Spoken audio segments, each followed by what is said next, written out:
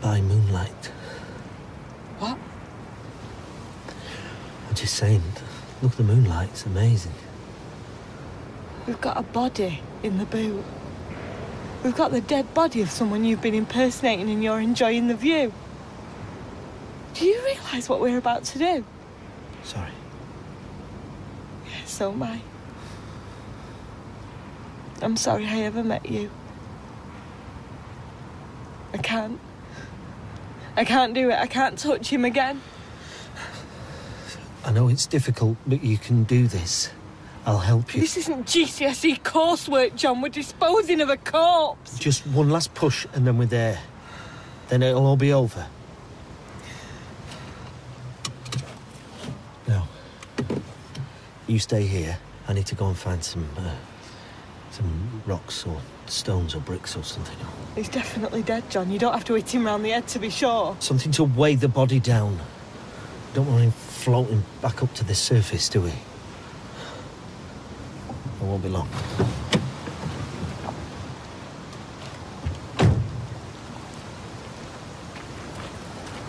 No, no, don't. No. Don't you dare fall asleep. Come on.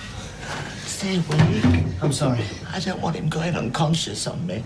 Am I'm doing good to have a little sleep. Look at the state of him. I can't get the door open. Oh, don't worry. You're tired. We're all tired. How could he do this? Why were we taken in by him? Wolf in sheep's clothing. It's a bit of an understatement. If he killed your Charlotte, and he killed Joy Fishwick, I don't want to think about it. how many more has he killed? And we don't home while we're eating, you remember? So, All right. been better. Where did you flip out last night then? Royally. No need to exaggerate. And where did you get to? You didn't roll in till gone one this morning. Why are you checking up on me? Weird name for a club, that, I didn't go to a club, so. I bet you spent all that money what you took from Till. Oh, stop having a go. How much was it in the end? Baby, where you going now? Where? I mean, it's gorgeous round Islington. Round the green. Oh, that lovely little cinema. Oh, and the bookshop. You don't read books. No, but I go in there to eye up all the hot guys that work there. I mean, where's best for her to run around and play? The Red Wreck or Highbury Fields? Can you go and clean your teeth now, please, Amy? Are we going to London? The big smoke, baby. you know, I didn't really like living in London when I was with Robert, but on my own with Can you Amy. stop wittering on for one minute? hmm? Is that possible? I'm excited, Dad. I tell you what, Tracy, do me a favour, will you? Don't dress this idea up as being in Amy's best interest. It isn't. It is. How can it be in her interest to uproot her from everything she knows and everyone she knows? It's simple. I don't want her to have a Manchester accent. All right, well, answer me this. How are you going to make ends meet in the big smoke? You seem to forget, Dad, I'm a trained florist and I've been offered a job as a trained florist. With those inflated London prices. Yeah, but um, And who's going to be looking after Amy while you're arranging your carnations and gypsophilia? I don't know. Pals. Lunatics? Because his whole idea is lunacy. You know, Dad, that actually that is quite offensive. And the alarm's not on. You're joking? I wish to God I was. I'll kill him. Well, there's your chance.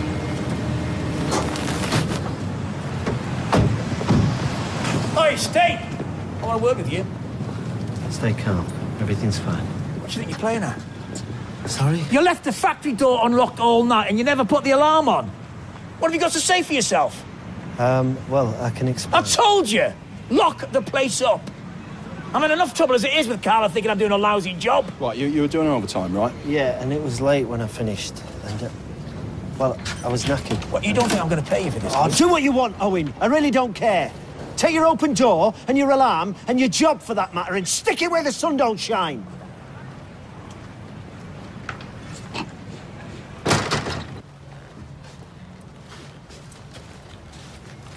All right. Take it you've been at Tina's? She. Did you sleep with her? That is none of your business. Take that as a yes then. You really put it about, don't you? Listen, I'm sorry if you thought Yeah, well, thanks, Graham. Thanks a lot. Last night. It meant nothing.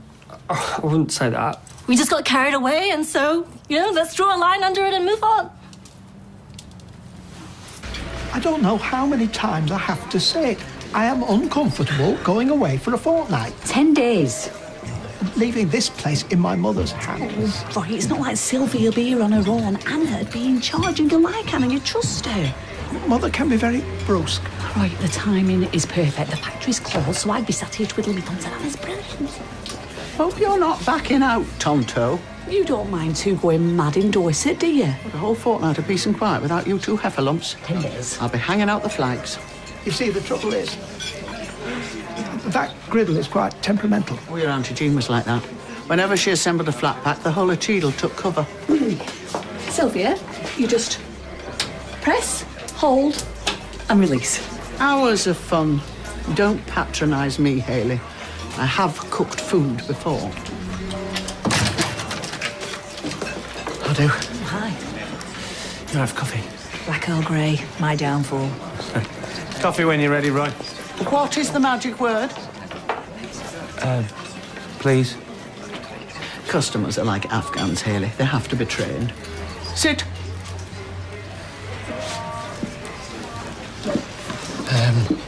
Sorry to get you out on the bank holiday. Got me out of a trip to a DIY shop with he who must be obeyed. Anyway, it'll all be reflected in your bill. of course. You look knackered. Yeah, well, I didn't sleep too good. Got a lot on your mind. What? No, no, um, you were snoring away like a baby. I Don't snore. Yeah, you do. A bit. So, has she decided when she's going yet? Because I think we'll all sleep a bit better once she's out of the way. I Don't know, she's hard to pin down.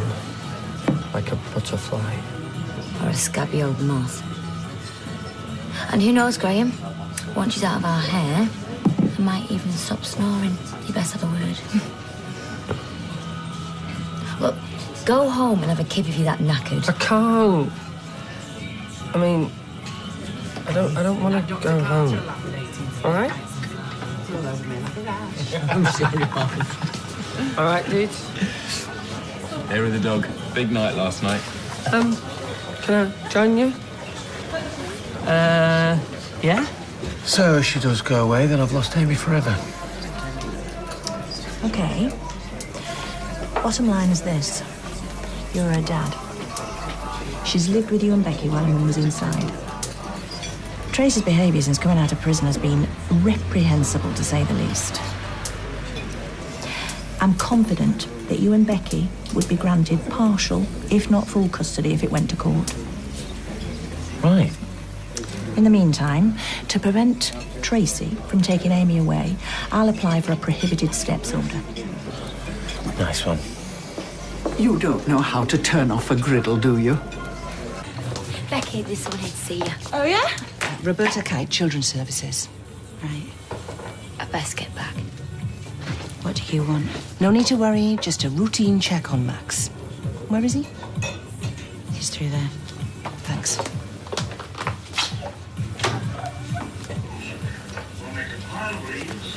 Hello, Max. My name's Roberta. Hi. Hi.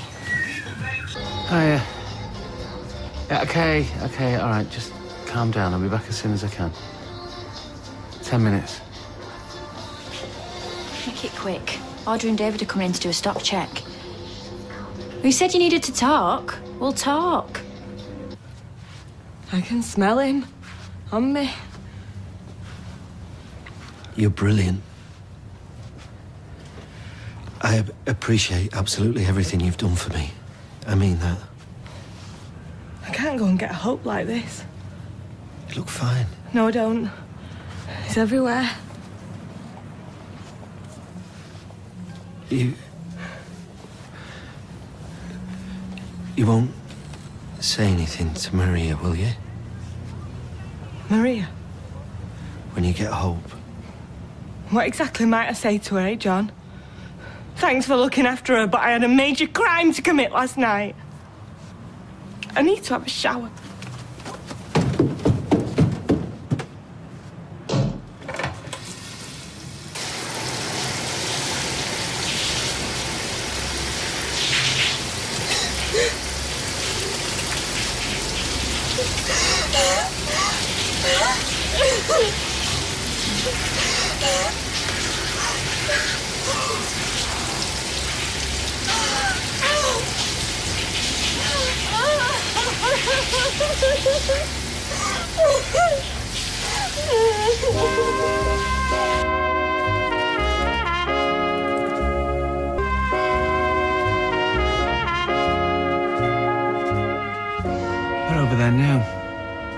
Social services? Yeah. And pretty soon they're going to be over here to talk to you. Well, they're nice like that, aren't they? Do you not care? Not my problem. Well, that's where you're wrong, because you're up to your neck in it. You sold your child, and you lied to social services. And if me and Becky are going down, we're going to be dragging you with us. Just so you know. What do I need to do? Well, I'm going to tell you a little story about how Max ended up with me and Becky, and you're going to listen very carefully. Because when they do come knocking, you're going to back it up. Go on then. Are you sitting comfortably? Good. Then I'll begin. Right, okay. Favourite film? Midnight Lace, Doris Day. Oh, that's a hard one. Oh, Mrs. Preston. oh, it's got more twist than a curly perm. One flew over the cuckoo's nest. And you? medication boy. Right, worst job. Coat check girl and bags Chatterton. I'm not a very big fan of coke. Marcus. Uh, I am finished. They accused me of nicking purses. I finished. Marcus. Pricing up frozen meats in a well-known superstore. End of the day, I used to go for a pint and smell blood on my hands. Vile. Ew, you dirty git. So again, fellas? Yeah. Oh. Where the hell have you been? Never mind that. Where are they? There's only one of them. She's in there. Why are they here? I don't know. Uh, what did she say? Routine checkup. Right. It's weird, isn't it? I feel sick. I just know it's Dave. Know what? They're going to take Max away. Oh, don't be soft. But why today? We were left alone for ages. Yeah, I know, I know, I know. Look, we're going to be fine. Okay? Just put a big grin on your grid and let's go in there and be perfect parents. Mm. Okay? Mm. Look, chest out, big grin. We're marvellous. Mm. Okay. Yeah. That's very nice. Hi, Steve. I see you've already met Max. We go to Kite Children's Services. Ah, I've always wanted one of those round your neck. I've got badge envy. Thanks again. I really appreciate it. Anytime. I won't make a habit of it. Fiz, are you all right? You seem Yeah, I'm fine. Yeah. I'll ring you later. Thanks again. Fiz. I'm all right. Just go home, Maria, please. Great. And what about Kylie? Kylie. Your sister, Max's mum. Yeah. Um, well, she's in, she's out, as ever. She's out at the moment. I don't live here um, anymore. Sorry? She moved out. May as well be honest. Well, she is meant to be here as part of your course. Yeah, no, she got married, she moved out, she wanted a fresh start. I mean, don't worry, she only lives across the road. Oh, I see. And she gets full access, of course. Right. Well, if it's okay with you, I'm going to call it a day here and uh, go in search of Kylie. What number does she live at? Um, number eight. It's just across the road. Can't miss it, really. It's got a number eight on it, I think. She might be at work, though. Oh, where does she work? We need to get away. Away from here, start afresh. Not this again. But I've been thinking, um, maybe the Highlands of Scotland. It's so vast up there, so open, beautiful. I don't want to go just anywhere. It's got to have fringe benefits. I visited this place once, Letterfinlay. It's um, it's near Fort William. It's on the banks of a loch. It's a stunning place. I think we'd be okay there. I knew, I knew when I was there that I'd go back one day. Felt safe. Felt peace. John, will you just shut up? You said you'd go last week. Yeah, well, I'm not going anywhere, not after what's happened. Come on, how many are there? Eight. Oh, no, nine. Oh, I get it. tell them we're short. Are we not supposed to have three of these? We're shut. I'm looking for Kylie Turner. Outside. Everything all right, Kyla? Yeah, won't be long. Three. Social services. Children's services, yes. Have you got no shame? Sorry? Bad never make work like that. I could lose my job. Ever think about that? I didn't actually barge. I just. Oh, you didn't actually think. Kylie, I need to talk to you about Max. I want to talk about Max. Not here, not now. Oh, when then? I don't know. Tomorrow morning? Your place? I can't wait. Why did you do it? Are you, are you deliberately trying to screw things up? How can you say that? Or mess with my head? Oh, behave yourself, woman. You just told that interfering cow that Kylie doesn't live here anymore. That is the worst thing that you could have done, Steve. You are an idiot. I just don't know why you did it. It was going to come out sooner or later. But this changes everything. Do you. We're screwed. We're totally screwed. I I'll don't believe it. sort it. Wait, are you the director of children's services now? then, Right, okay, Becky, look, listen to me. Stop panicking, leave it to me. I've got a plan. Plan? Yeah, I'll tell you later. Hey, we should have a slumber party. Should we? Yeah, like in Greece. Lager, Eileen. Oh, go on then. Has, uh, has he not got a home to go to? He's our new best friend. Hey, do you know what, boys? I think I might be a secret gay. you fancy bloke? No, just these two, because they're dead nice. Oh, I love you two. I love the gays, mate. I love them. Oh, I think you might have a little cry in a minute. I think maybe that Graham needs a cup of coffee. yeah. Eileen, can I stay here the night On this couch? Have you had a row with what's the face? No, no, it just it just looks like a really big couch. And this is gonna romance all over it. Mm. No. What's your favourite film, Eileen? Um, Lion King. Hakuna Matata.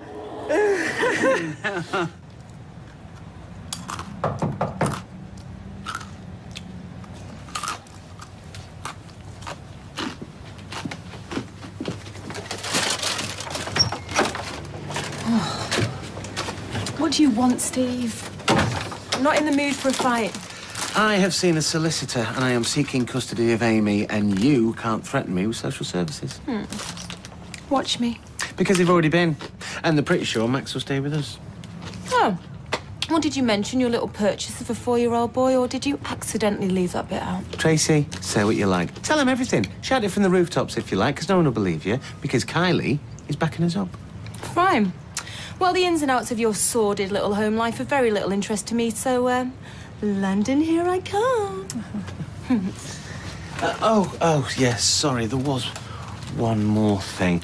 I'm taking legal steps to prevent you leaving with Amy. So you go, and there is nowhere a court won't find you. Yeah, right. Yeah, hey, Tracy, face facts. You have lost. And the sooner you understand that, the better. Laters.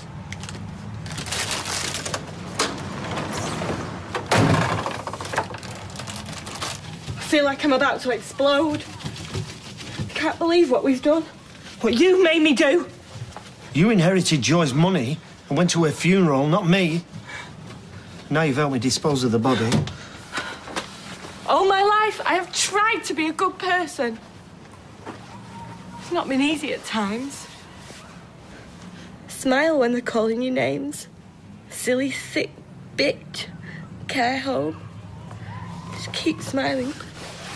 Keep smiling. You are a good person. This. This is bad.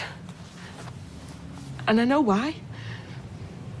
I wasn't the brightest of kids, but I got one thing bang on. I am not a nice person. That's why bad things happen to me. No, that's not true. Yeah, I've never been more certain of anything, John. I've done a bad thing. I'm bad. So I'm going to have to do what bad people do What's that? Kiss goodbye to all my friends round here. Leave Chesney while he's missing and run. Letter, Finley. Fresh start where nobody knows who we are. We'll know. More's a pity. I'm so sorry. It's just words, John. Um, words can't describe how I'm feeling. I didn't think I could do this. Now I know why you were so keen to go last week. Now I know how you feel. I do understand, you know. I'm the only person on this planet that does. You sure about this? We'll go tomorrow.